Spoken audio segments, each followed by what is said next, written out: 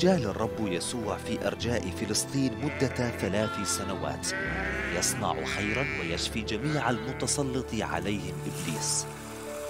ومع أن الناس العاديين أحبوه فإن القادة الدينيين في أورشليم كانوا يتآمرون لقتله وكان يسوع يعلم ذلك.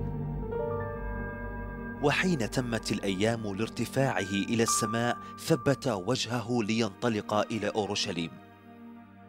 إن علمت أن بعض الأشرار في مدينة بعيدة يخططون للقبض عليك وتعذيبك وقتلك. هل تذهب إلى هناك؟ هذا ما فعله يسوع. من ذلك الوقت ابتدأ يسوع يظهر لتلاميذه أنه ينبغي أن يذهب إلى أورشليم ويتألم كثيرا من الشيوخ ورؤساء الكهنة والكتبة ويقتل وفي اليوم الثالث يقوم. لكن التلاميذ لم يكونوا يتوقعون ملكا كهذا مسيا مصلوبا. فمن المؤكد أن الله لن يسمح لمختاره أن يتألم ويذل هكذا. لذلك قال بطرس ليسوع حاشاك يا رب لا يكون لك هذا.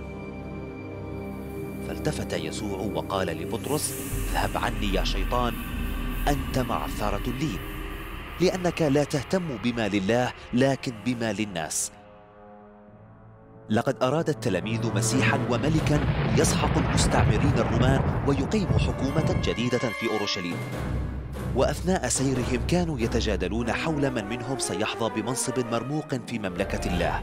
لذلك قال يسوع لتلاميذه من أراد أن يكون فيكم عظيما فليكن لكم خادما. كما أن ابن الإنسان لم يأتي ليخدم بل ليخدم وليبذل نفسه فدية عن كثيرين.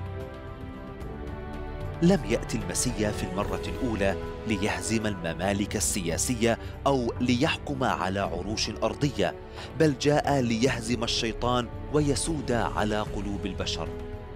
لذلك فقد علم يسوع ها ملكوت الله داخلكم.